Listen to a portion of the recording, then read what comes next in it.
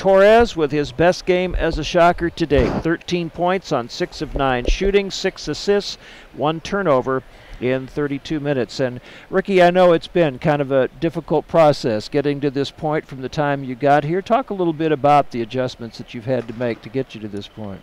Man, um, it, it was a lot different level of play, you know, physicality. The, the guys here are faster, stronger, bigger. You know, it's just I had to adjust and adapt, you know, and the way my team and you know the coaches and everybody around me was just they kept confidence in me because everybody has seen me shoot before and you know the shots haven't been falling this year. And for them to fall today is just you know I, I, I thank everybody that kept the confidence in me and it's like it's about time.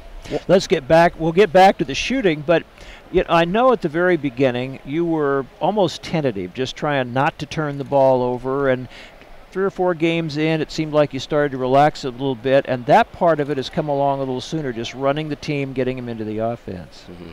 Yeah, I mean, early on, that was my number one focus. You know, I just I wanted to run the system and not turn the ball over, and you know, at, at some point, I realized, you know, I'm I'm just out there. I'm not really doing much, and coach, you know, kind of told me, hey, you know, you got to let loose. Like like you, you're you're playing too tight, and you know, I, I kind of, you know, I, I heard him, but I didn't really it, it didn't click right away, and you know, eventually, I mean, I don't know when it clicked, but happy it did. If you watch the NBA, if you watch college basketball, they either take the ball to the basket or they shoot the three. A lost art is the 15-foot jump shot, but you seem to thrive on that. Oh, I love that shot. That's that's my favorite shot. It's always been my favorite shot.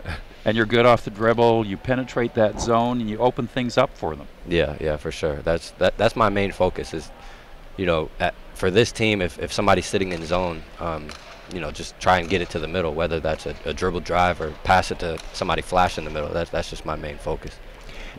Talking about the shot, it seemed like when you were struggling early that the shot looked flat a lot of the time. I was watching you at shoot around today. Your legs were really into it. There was a little more arch. You were making everything. Is that a an ob- is that a correct observation? For sure, for sure. Um, I, I, I think that just comes with confidence, though. Um, I wasn't very confident because you know when you're over however much I was over, it, you kind of lose confidence. And, you know, it, it, it's just today I was more confident. And for some reason, I woke up today and, you know, i w- I've been in the gym.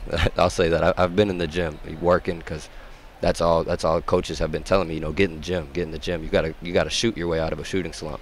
And, and, you know when you talk about confidence i'm sure questioning too often should i even shoot this or not? I'm open but i haven't been making them should i even let it go? Exactly exactly. That that's been another thing is you know I, will be open and i'll kind of be like man in my mind i, I got to shoot this but if I miss this, man, it, it's like, man, it, it, hurts.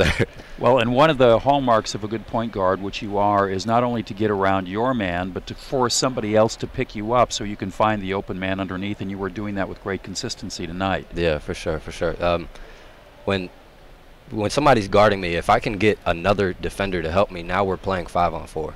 So that's my main focus. Obviously, this is a, a critical time for this team that's still learning about each other, still coming together. And, and can you feel the just kind of the interest among everybody that let's see what we can do with this time where we don't have school and we can really concentrate on basketball? Yeah, yeah, it's it's amazing. You know, this time is amazing for us. It's it's real valuable for us. Um, we can practice we can we can do individual work we can get better individually that will make us get better as a team and you know we can go through film and you know there's no more time restraints right now. So we're we're all you know we're all working right now brick by brick trying to get it right.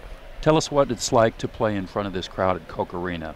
Man it's it's unreal. I, have never witnessed anything like it. I've I've been you know I, I was a JUCO guy. I didn't really play in front of crowds like this but I've I've went to other division 1 games. I've went to NBA games and I don't know it's for some reason it's just a different it, it's electric in here. I, I don't know. I've never felt anything like it, and I love it. So.